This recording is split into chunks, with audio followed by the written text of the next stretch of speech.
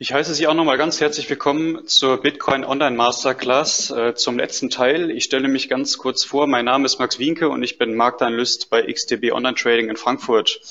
Kryptowährungen waren letztes Jahr das Thema, was am meisten Aufmerksamkeit auf sich gezogen hat. Und wir haben eine regelrechte Krypto-Euphorie erlebt mit äh, immer größeren Angeboten an neuen Coins und unglaublichen Preisentwicklungen. Und äh, ob der Wunsch nach einem alternativen Geldsystem so hoch war oder ob der Bitcoin nur als Spekulationsobjekt dient, das werden wir uns in der nächsten halben Stunde einmal genauer anschauen. Bevor es losgeht, noch der obligatorische Risikohinweis. Der Handel mit CFDs ist natürlich mit Risiken verbunden. Das heißt, für diejenigen, die der Begriff neu ist, sollten sich im Vorfeld oder vor dem Traden nochmal genauer informieren. Das können Sie auf unserer Website tun unter www.xtb.de oder auch auf unserem YouTube-Channel XTB Deutschland. Des Weiteren ähm, ja, gibt es hier keine Handelsempfehlung, sondern die Webinare sollen Ihnen wirklich nur eine Hilfestellung äh, leisten und Sie einfach bei Ihren Trading-Aktivitäten unterstützen. Dann kommen wir erstmal zum Inhaltsverzeichnis, damit Sie wissen, wie die Präsentation strukturiert ist und äh, ja, was Sie eben hier von dem letzten Teil äh, erwarten können. Wir starten erst nochmal mit einem Blick auf den Kryptomarkt allgemein, was Sie berücksichtigen sollten, was so die wichtigsten äh, Merkmale des Marktes sind und äh, werden dann eben einen besonderen Fokus auf den Bitcoin legen. Da werden wir dann eben äh, mal uns äh, den Chart angucken und ähm, ja einfach mal schauen, was denn letztes Jahr wirklich so passiert ist. Auch eben äh, die letzten Kursbewegungen seit Anfang des Jahres mal so ein bisschen analysieren und aufgreifen und dann auch mögliche Kursszenarien mal skizzieren. Dann ähm, ja der dritte Teil. Da geht es dann auch mal um die Erfolgsfaktoren, die Sie beim Bitcoin Trading berücksichtigen sollten. Ich habe das mal in drei größere Kategorien ein, äh, geteilt, nämlich nach Nachrichten, Charttechnik und einfach nochmal so ein paar allgemeine Tipps. Und am Ende werde ich das für Sie dann nochmal kurz zusammenfassen. Also, was macht den Kryptomarkt so besonders? Der Kryptomarkt kann als eine neue Anlageklasse gesehen werden, da ähm, ja, sich der Markt eben grundlegend von den klassischen Märkten unterscheidet. Also zum Beispiel dem Devisenmarkt oder auch dem Aktienmarkt. Und eines der Hauptunterschiede ist, dass er ja sehr, äh, dass Kryptowährungen extrem schwer zu, äh, zu bewerten sind. Also der reale Wert von virtuellen Währungen können nur sehr, sehr schwer beurteilt werden. Ähm, wenn man sich jetzt zum Beispiel mal die Währung anguckt oder Währungspaare, dann kann man eben aufgrund der Zins- und der Konjunkturentwicklung eben diese Währung äh, ja sozusagen bewerten und äh, das ja diese Fundamentalanalyse die fällt bei den Kryptowährungen in gewisser Weise weg. Für den einen ähm, hat der Bitcoin ähm, vielleicht noch Potenzial bis, wir haben ja teilweise Kursziele von Investoren äh, gesehen bis, bis zu 500.000 Dollar. Die anderen sagen, dass es eine große Blase ist und äh, sagen, dass der Bitcoin eben nichts wert ist oder eben vielleicht nur äh, einem Wert von 100 Dollar entsprechen sollte.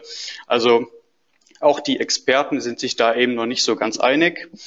Ähm, allerdings kann man beobachten, dass es eine unglaubliche Nachfrage nach alternativen Investitionsmöglichkeiten gibt und der Kryptomarkt profitiert davon offensichtlich. Ebenfalls attraktiv aus der Sicht jedes Traders ist natürlich die hohe Volatilität. Denn Schwankungen bis zu zehn Prozent oder mehr am Tag sind nicht unüblich. Und ähm, ja, die Volatilität ist letztendlich ein entscheidender Erfolgsfaktor, wenn es eben darum geht, Gewinne an den Finanzmärkten zu generieren. Des Weiteren ist der Kryptomarkt ein sehr junger Markt, äh, was natürlich für viele erstmal abschreckend sein kann weil man eben noch nicht genau einschätzen kann, inwieweit Kryptowährung unser Geldsystem oder auch eben unseren Alltag zukünftig verändern. Und wir befinden uns eben momentan im Umbruch und in gewisser Weise auch in einer Testphase. Außerdem haben wir eben auch wenig äh, institutionelle Anleger. Das heißt, wir haben hier am Markt deutlich weniger Konkurrenz als zum Beispiel äh, am Devisenmarkt, wenn man sich jetzt eben die Bewegung beim Euro-US-Dollar anguckt. Und daher ist der Kryptomarkt generell wesentlich leichter zu handeln, zumindest bis jetzt. Und ähm, ja, diese drei äh, Faktoren äh, machen die, äh, ja, den Kryptomarkt natürlich sehr attraktiv für Investitionen. Und ähm, ja, ich würde sagen, wir schauen uns ganz kurz hier nochmal den ähm, zwei Grafiken an, die ich für Sie heute rausgepickt habe. Und zwar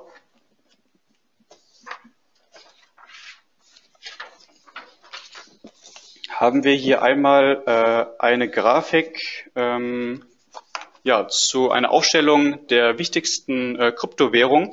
Also Sie müssen jetzt hier nicht äh, genau wissen, ähm, wie hoch die Marktkapitalisierung ist oder wie viele Coins es insgesamt gibt, sondern ähm, einfach nur mal so äh, die wichtigsten äh, Kryptowährungen hören vom Namen her und ähm, Sie können eben auch anhand der Marktkapitalisierung einfach mal, äh, ja, mal sehen, wie groß denn überhaupt die Marktanteile sind. Also wir haben natürlich Bitcoin hier an erster Stelle, äh, natürlich ganz klar vorne, äh, ungefähr doppelt äh, vom Volumen, doppelt so groß wie Ethereum. Und ähm, so können Sie das eben hier einfach mal äh, sich ein bisschen anschauen, auch gucken, wie viele äh, Coins im Umlauf sind oder wie viel eben täglich hier umgesetzt wird. Das erstmal so als ähm, ja, erste Einschätzung für diejenigen, die da eben Interesse haben.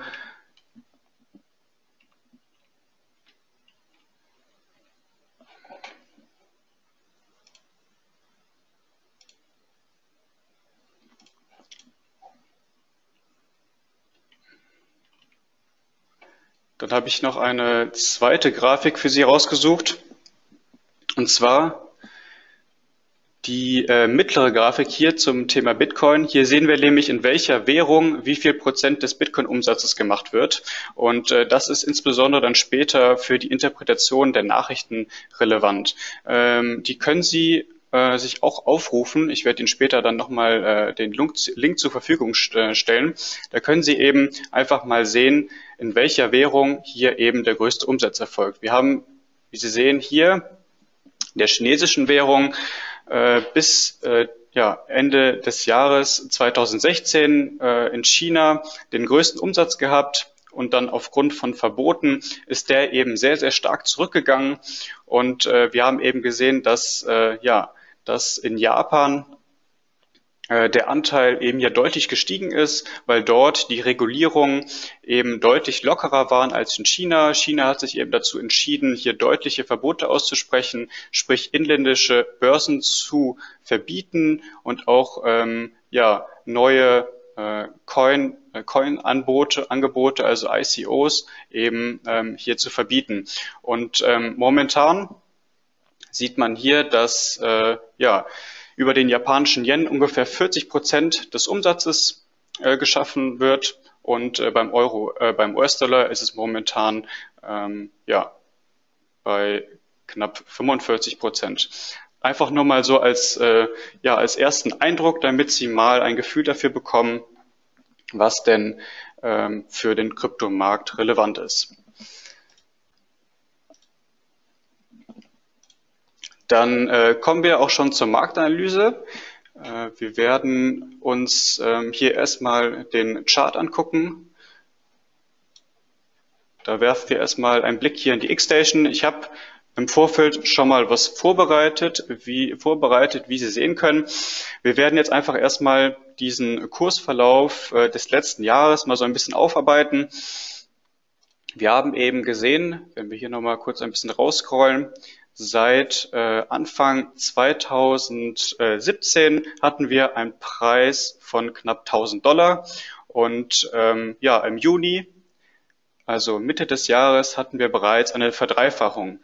Äh, seit 2017 hat dann eben äh, die Volatilität deutlich zugenommen. Wir haben deutlich stärkere Kursanstiege gesehen und ähm, hier gab es dann im September einen ersten größeren Einbruch durch äh, das Verbot in China.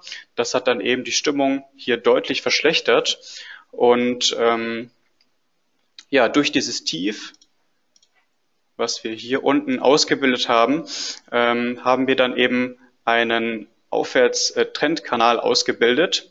Und im Oktober hat sich der Preis hier bereits versechsfacht. Hier haben wir das erste Mal die 6000 Dollar Marke erreicht. Das wurde natürlich gestützt durch die extreme Medienpräsenz. Das heißt, alle Nachrichtensender und alle Zeitungen griffen eben das Thema auf und auch alle Anleger wollten eben hier dabei sein. Äh, Im November wurde dann dieser Aufwärtstrendkanal hier äh, mehrmals durchbrochen, einmal nach oben, dann ähm, hatten wir wieder Korrekturbewegungen äh, in Richtung der Mitte, mittleren Grenze des Aufwärtstrendkanals. Und ähm, ja, am Ende haben sich die Käufer dann aber eben durchgesetzt und wir haben eben wieder deutliche Kursanstiege gesehen äh, in Richtung 8000. Und äh, am 17.11. Ähm, hier auf dem Niveau ähm, ja, gab es dann erste Gerüchte um Bitcoin Futures. Äh, da gab es dann eben daraufhin relativ schnell eine Verzehnfachung des Preises, äh, bis dann eben auch die offiziellen Stellungnahmen der CME und der CBOE, also der äh, zwei wichtigen äh, Börsen in Amerika, äh, die haben das Ganze dann eben nochmal auf die Spitze getrieben. Wir sehen hier einmal ähm, ja, am 1.12. und am 4.12. waren die Ankündigungen und äh, daraufhin waren dann schon im Vorfeld die Reaktionen eben sehr, sehr positiv und äh, da haben wir insgesamt eben die stärksten Kursanstiege beim Bitcoin gesehen. Ähm, ja, bis zur Einführung hier am 11.12. Äh, wurde der Preis dann hier in Richtung 17.000 Dollar getrieben. Und ja, danach gab es dann noch eine letzte Kauffälle. Und zwar nämlich bis zum Allzeithoch hier bei 19.578 Dollar. Das heißt, wir haben seit Anfang des Jahres äh, ja fast eine Verzwanzigfachung des Preises gesehen. Und äh, seitdem ging es dann mit dem Kurs steil bergab. Äh, viele hofften nach dieser Einführung der Futures, dass natürlich insbesondere institutionelle, also ähm, Anleger, also große Investoren eben auch hier einsteigen. Äh, viele hatten aber auch gewarnt, dass äh, viele Krypto, äh, Kryptobesitzer sich auch, auch dazu entschließen oder sich dazu entschließen, ähm, das Ganze zu shorten, also auch auf fallende Kurse zu setzen. Ich habe ja eben hier schon mal gezeigt, dass gerade nach diesen Nachrichten, also nach der Ankündigung dieser Einführung von Bitcoin Futures, gab es schon extreme Kursbewegungen nach oben. Und ähm, ja, dementsprechend äh, ist es jetzt nicht unbedingt verwunderlich, dass wir hier auch deutliche Korrekturbewegungen gesehen haben. Ähm, wir hatten dann hier nochmal äh, den Versuch, hier nach oben äh, zu durchbrechen, ungefähr bei der 17.000 Dollar Marke. Allerdings ist der Versuch eben hier gescheitert und seitdem haben wir dann eben eine Abwärtsbewegung äh, eingeleitet bis zu einem Tiefpunkt hier unten bei 5.900 Dollar. Kommen wir jetzt zur aktuellen Lage, beziehungsweise was ist jetzt in den letzten zwei Monaten passiert. Hier kann man einmal diesen Aufwärtstrendkanal noch einmal verlängern und Sie sehen, dass wir hier an der unteren Grenze dieses Aufwärtstrendkanals, der eben seit äh, Beginn des Jahres 2017 eben hier äh, intakt ist, haben wir hier einen Abpraller gesehen. Das heißt, der Markt ist hier erstmal an diese Grenze äh, runter, also zurückgegangen und ist hier, hat hier dann eben wieder gewendet. Und ähm, wir sehen, dass wir hier in der Vergangenheit einen sehr, sehr steilen Abwärtstrend gesehen haben, also einen Abwärtstrendkanal. Und äh, den äh, haben wir hier Mitte Februar eben wieder nach oben durchbrechen können. Das war so ein erster Befreiungsschlag für die Bullen und hat natürlich auch vielen Anlegern erstmal wieder Hoffnung gemacht. Und Wir haben uns dann auch relativ schnell hier in Richtung dieser großen Abwärtstrendlinie hier ähm, zubewegt. Wir hatten dann ein äh, Hoch hier ausgebildet bei knapp 11.700 Dollar. Ähm, allerdings blieben dann weitere Kursanstiege aus. Das heißt, wir haben hier technisch gesehen erstmal eine Abpraller gesehen und ja, seitdem äh, hat sich der Kurs eben hier wieder ein bisschen zurückgezogen. Was sollten Sie jetzt eben äh, zukünftig beachten? Also wir haben ja jetzt schon mal äh, die wichtigsten Anhaltspunkte oder technischen, äh, technischen Niveaus schon mal äh, gesehen.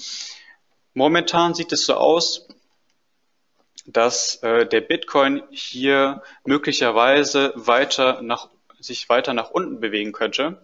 Ähm, zumindest solange wir hier diese Abwärtstrendlinie nicht nach oben durchbrechen und solange wir eben auch hier unterhalb dieser Aufwärtstrendlinie äh, uns bewegen, erscheint eben ein äh, Kursszenario hier nach unten am wahrscheinlichsten.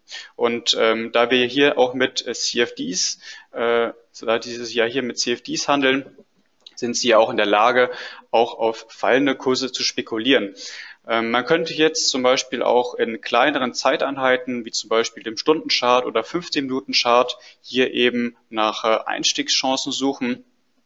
Und äh, ja, was jetzt zu, was es zu beachten gibt aus rein technischer Sicht, äh, wäre in einem bärischen Szenario erstmal ähm, hier das Niveau bei 7.800 Dollar und sollte diese Unterstützung nicht halten, dann könnten wir uns eben in Richtung der unteren Grenze dieses äh, Aufwärtstrendkanals, dem hier in Orange, ähm, ja, bewegen. Hier hätten wir ein Niveau von ungefähr 6.500, 6.600 und äh, sollte das eben nicht reichen, dann hätten wir hier unten noch das lokale Tief bei 5.900.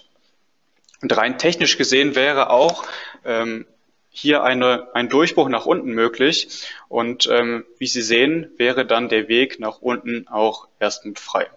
Das wäre jetzt ein bärisches Szenario. Wir kommen aber auch nochmal zu einem bullischen Szenario, denn wir haben ja gesehen, dass wir äh, hier Umkehrsignale hatten und es gab eben wieder auch Impulse nach oben und bisher konnten auch weitere Kursrückgänge erstmal vermieden werden. Das heißt, sollten wir hier diese Aufwärtstrendlinie nach oben durchbrechen und auch diese Abwärtstrendlinie hier überwinden, dann wäre auch relativ schnell ein Kursanstieg in Richtung 11.700 Dollar möglich. Das wäre hier erstmal das lokale Hoch. Und sollten wir dann dieses Ziel durchbrechen, dann wäre dann eben auch wieder ein weiterer Kursanstieg realistisch. Ob wir dann äh, wieder in Richtung, uns in Richtung Allzeithoch bewegen, das können wir jetzt natürlich noch nicht sagen. Aber kommen wir nochmal zurück zur Präsentation. Und zwar kommen wir jetzt noch zu den äh, Erfolgsfaktoren. Also ein, ich habe für Sie nochmal ein, ähm, ja, Ihnen eine Hilfestellung hier äh, die Sie nutzen können oder die Sie berücksichtigen sollten, wenn Sie zukünftig mit äh, Bitcoins handeln. Denn ähm, wie Sie gesehen haben, keiner von Ihnen oder ja, keiner von Ihnen kann wirklich sagen, wo der Bitcoin-Preis jetzt in sechs Monaten oder vielleicht auch zum Ende des Jahres steht. Aber man kann eben ja ich kann Ihnen bestimmte Tipps geben und Hilfetools zeigen, die Ihnen Ihre Kaufentscheidung letztendlich vereinfachen. Denn äh, die, ja, das Traden basiert ja eben auch auf der Eigeninitiative. Und grundsätzlich kann man sagen, je mehr Informationen, desto einfacher ist natürlich die Interpretation und desto besser kann man eben äh, ja, seine Entscheidung treffen. Und letztendlich sollte man so wenig dem Zufall überlassen wie möglich. Und wir gehen jetzt erstmal hier einmal auf die Nachrichten ein, ähm, wo Sie hier eben darauf achten sollten. Äh, ich habe das erstmal in drei große Kategorien unterteilt in Art der Nachrichten, Herkunft und Relevanz. Und die Art der Nachrichten kann man grundsätzlich in drei größere Kategorien unterteilen, nämlich einmal in die Umsetzung, in die Regulierung und dann in Meinung. Ähm, wir haben ja zum Beispiel gesehen, dass die Einführung von Bitcoin Futures für ja, den Bitcoin ähm, ja, den Bitcoin für die Finanzwelt deutlich zugänglicher gemacht hat. Und es könnte natürlich auch sein, dass weitere Börsen, äh, weitere Börsen hinzukommen oder eben auch weitere Kryptowährungen ins Programm aufgenommen werden. Sie sollten außerdem auf Nachrichten achten zur Blockchain-Technologie. Das heißt, äh, gibt es hier Forschungsvorschritte, gibt es neue Updates. Und ähm, hier gab es zum Beispiel einen Versuch in Südkorea, Verwendung im Bankensystem zu finden. Das heißt, das sind eben so Anhaltspunkte, die eben für den Kurs äh, ja für entscheidende Impulse sorgen könnte. Des Weiteren sollten Sie dann eben darauf achten, ähm, ja, ob Bitcoin-Zahlungen akzeptiert werden. Sie sollten sich natürlich auf international agierende Unternehmen fokussieren. Wir hatten zum Beispiel Nachrichten von PwC, KFC in Kanada oder eben auch einem großen äh, Flughafen in Australien. Das sind natürlich erstmal kleine Schritte, aber eben wichtige Schritte. Äh, des Weiteren sind Nachrichten bezüglich der Forks, also der Spaltung, sehr, sehr wichtig. Wir hatten ja gesehen, dass es eine Spaltung äh, von Bitcoin Cash und Gold gab. Das könnte natürlich eben auch zu Impulsen führen. Ähm, und äh, sollten Sie bei Ihrem Traden dann auch berücksichtigen. Dann das zweite war die Regulierung und ähm, grundsätzlich kann man sagen, dass Kryptos bislang nur sehr begrenzt reguliert sind. Ähm, Regulierung und Vorschriften sind aber eben nichts Schlechtes, denn es kommt eben auch darauf an, an was äh, oder eben in welchem Maß reguliert wird. Das heißt, Sie sollten vor allem die Aufsichtsbehörden hier im Blick behalten. Ein Negativbeispiel der Vergangenheit wäre, wie gesagt, China. Hier gab es zahlreiche Verbote. Das heißt, der Handel wurde einmal verboten, inländische Börsen wurden verboten, die ICOs, also das Herausgeben von neuen Coins wurde verboten und es gab auch sehr kritische Äußerungen zum Thema Mining. Auf der anderen Seite haben wir ein deutlich besseres Beispiel, nämlich Japan, die deutlich toleranter äh, umgegangen sind mit der Regulierung. Das heißt, äh, hier müssen zum Beispiel Transaktionen gemeldet werden oder sie haben eben auch versucht, äh, ja, unseriöse Börsenanbieter eben hier aus dem Programm zu nehmen und zu verbieten. Ebenfalls wichtig sind dann auch noch Aussagen von Regierungs- und Zentralbankvertretern, denn das sind letztlich die Personen, die einen ja, großen Einfluss darauf haben, äh, ja, auch diesen rechtlichen Rahmen sozusagen zu schaffen. Das dritte waren die Meinungen. Ähm, ich meine hier die Meinung von einzelnen Personen oder eben auch von Institutionen. Zum Beispiel der CEO von JP Morgan oder eben die norwegische Zentralbank haben sich äh, letztes Jahr dazu geäußert und zwar haben äh, sie den Handel oder ihren Mitarbeitern den Handel mit Kryptowährungen verboten. Ähm, dann gibt es zum Beispiel auch noch Käufe von großen Investoren, die vielleicht veröffentlicht wird. Ein Beispiel, wie hier, dem, das man hier nennen könnte, wäre Peter Thiel, der eben durch einen äh, großen Kauf von Bitcoins eben äh, ja für beim Kurs eben für äh, deutliche ähm, Impulse gesorgt hat. Dann kommen wir zu der Herkunft. Äh, wie Sie ja gesehen haben, aufgrund des Umsatzes liegt der Fokus äh, ja, der Nachrichten ganz klar aus äh, in Asien. Das heißt, fokussieren Sie sich auf die Nachrichten aus Japan, Südkorea und möglicherweise auch China. Also nur weil China momentan den Kryptohandel sozusagen ausgesetzt hat, heißt das nicht, dass das auch für immer so bleiben wird. Es kann natürlich sein, dass wenn äh, die Märkte weniger volatil werden und vielleicht die einen oder anderen Länder vielleicht den ersten Schritt machen mit einer äh, Regulierung, dann kann es natürlich auch sein, dass China hier vielleicht wieder den Markt öffnet und ähm, ja den äh, Bürgern den Handel eben wieder ermöglicht. Und es können natürlich auch andere Länder folgen. Das heißt, auch in Europa und Amerika sollten sie dann eben auch darauf achten, ähm, was es da eben an Nachrichten so gibt. Und dann letztendlich ist die Relevanz natürlich, äh, ja, natürlich wichtig. Sie müssen sich immer die Frage stellen, könnte die Nachricht weltweit Einfluss auf das Kaufverhalten der Anleger haben?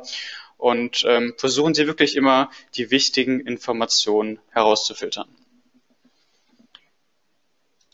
Dann kommen wir noch zur Charttechnik. Sie kennen bestimmt das Börsensprichwort The Trend is your friend. Märkte bewegen sich immer in Trends und äh, in diesem Kontext erschließt sich eben eine logische Schlussfolgerung, die Sie bei jedem Ihrer Trades berücksichtigen sollten. Äh, das ist wirklich egal, in welchem Zeitintervall, ob Sie jetzt im Tageschart oder eben im 15-Minuten-Chart agieren. Es gibt immer eine bestimmte Reihenfolge, die Sie hier berücksichtigen sollten. Und das ist einmal die Bestimmung der Trendrichtung. Das heißt, Sie müssen erstmal herausfinden, ob Sie sich im Aufwärts-, Abwärts- oder Seitwärtstrend befinden und ähm, ja, dann eben die Trendphase erkennen. Äh, es kann zum Beispiel sein, dass der Trend sich gerade gewendet hat. Das heißt, äh, wie wir es gerade äh, beim äh, Beispiel, an dem Chartbeispiel gesehen haben, wäre der Bitcoin sozusagen jetzt noch ein bisschen gestiegen und sozusagen über diese Abwärtstrendlinie äh, hochgeklettert, dann könnte man sozusagen von dem Beginn einer neuen, äh, eines neuen Trends sprechen. Es kann aber auch sein, dass wenn Sie sich den Chart angucken, dass äh, der Bitcoin-Preis vielleicht sich ja schon in einem in einer fortgeschrittenen Trendphase befindet. Das heißt, der Markt ist schon sehr, sehr stark angestiegen und ähm, deswegen ähm, ja, Sie sollten nur wissen, dass man nicht blind in den Markt einfach reingeht, sondern sich eben erstmal da, da, daran orientiert, wo man sich dann eben letztendlich im Trend befindet. Und dafür können Sie dann wichtige Unterstützungs- und Widerstandszonen nutzen, also Hoch- und Tiefpunkte, um dann Ihre Ein- und Ausstiege bestmöglich zu timen. Hier zuerst mal ein Beispiel. Angenommen, Sie befinden sich jetzt in einem Aufwärtstrend äh, der Trend ist schon stark angestiegen. Das heißt, Sie wollen ja nicht einfach in den Markt reingehen, einfach kaufen und dabei sein, sondern Sie versuchen, Ihren Einstieg bestmöglich zu timen. Das heißt, Sie versuchen erstmal zu warten, dass der Markt vielleicht erstmal wieder fällt, also im Aufwärtstrend eine leichte Korrekturbewegung ausbildet und ähm, dann eben diesen, diesen Unterstützungsbereich nutzen, um äh, dann eben einzusteigen. Und die Widerstände, also zum Beispiel Hoch- oder Tiefpunkt, kann man dann eben nutzen, um auch wieder auszusteigen. Sie können sich aber auch dazu entscheiden, möglicherweise ein bestimmtes Kursziel festzulegen und sagen, bei dem Preis möchte ich meine Position wieder schließen. Und sie haben natürlich auch noch äh, ja, andere Hilfsmittel, zum Beispiel Trendlinien, wie wir das vorhin gesehen haben, Kerzenformationen und natürlich technische Indikatoren, die Sie in der X-Station finden, nutzen können, um dann letztlich ähm, ja, Ihre Entscheidung ähm, eben zu vereinfachen.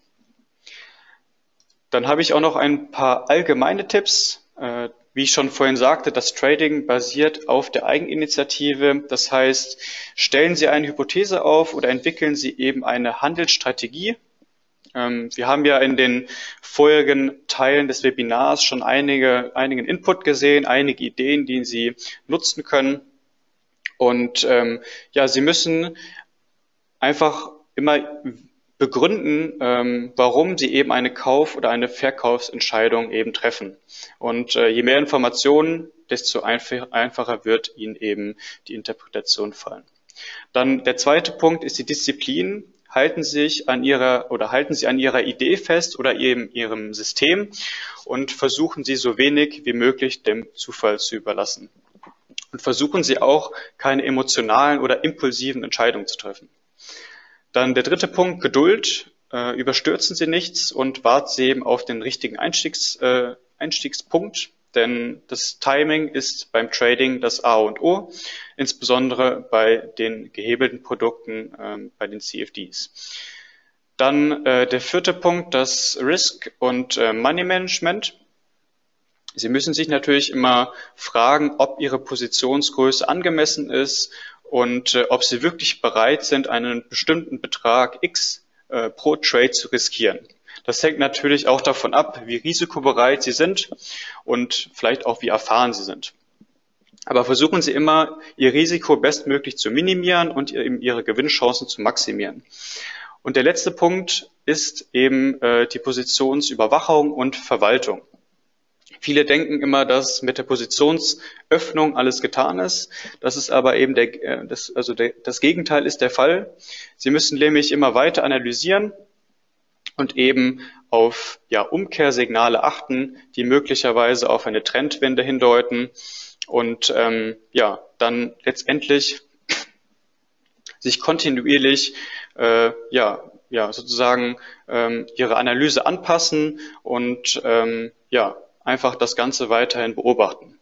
Außerdem sind natürlich auch Teilverkäufe äh, möglich. Das heißt, wenn Sie sagen, ähm, der Kurs ist sehr, sehr stark angestiegen und äh, ich denke, dass ich äh, jetzt gerne einen Gewinn mitnehmen möchte, dann können Sie zum Beispiel die Hälfte der Position schließen und sagen, ähm, ja, mit der anderen Hälfte spekuliere ich jetzt nochmal auf weitere Anstiege, weil Sie vielleicht sagen, es gibt noch Potenzial, es ist gerade viel Volatilität am Markt und ähm, das sind zum Beispiel auch so Sachen, die Sie dann eben nutzen können und dann eben für sich ähm, ja einfach herausfinden müssen, wie Sie am besten damit arbeiten.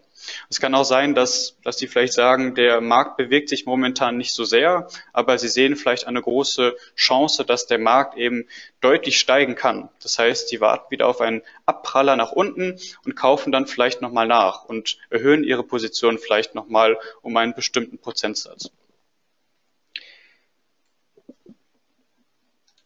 So, dann kommen wir noch äh, zu, zu ein paar abschließenden Worten.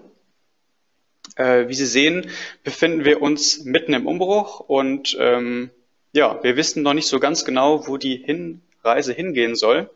Äh, Bitcoin ist, wie es auf der offiziellen Website steht, immer noch ein Experiment. Und äh, es gibt eben viele politische, wirtschaftliche, aber eben auch rechtliche Hürden, die es noch zu überwinden gilt. Aktuell eignet sich der Bitcoin oder andere Kryptowährungen nicht als Wertaufbewahrungsmittel, wie beispielsweise Gold. Und ähm, ja, wenn dann schon eher als Zahlungsmittel, weil Transaktionen eben sehr effizient und sehr schnell abgewickelt werden können. Allerdings kann hier eben auch keine Wertstabilität gewährleistet werden da die täglichen Schwankungen einfach äh, zu groß sind. Aber wir haben eben gesehen, dass der Bitcoin eben ein sehr, sehr interessantes Spekulationsobjekt ist und aus Sicht eines Traders natürlich ideale Bedingungen bietet, um hier attraktive Renditen zu erzielen. Ja, ich hoffe, wir äh, konnten Ihnen das äh, Bitcoin-Trading ein bisschen näher bringen. Äh, wenn Sie Interesse an weiteren Webinaren haben, ich äh, gehe jeden Dienstag und Donnerstag um 9.30 Uhr auf die wichtigsten Marktgeschehnisse ein, äh, mit einem besonderen Fokus auf dem DAX, Euro, US-Dollar, Gold, Öl und äh, natürlich auch dem Bitcoin.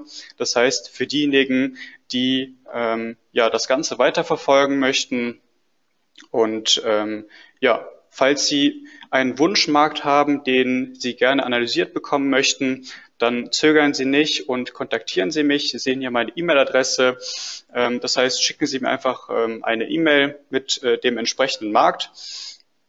Außerdem haben wir seit letzter Woche unser Kryptoangebot natürlich erweitert. Äh, neben der Bitcoin gibt es Ethereum, Litecoin, Ripple und Dash.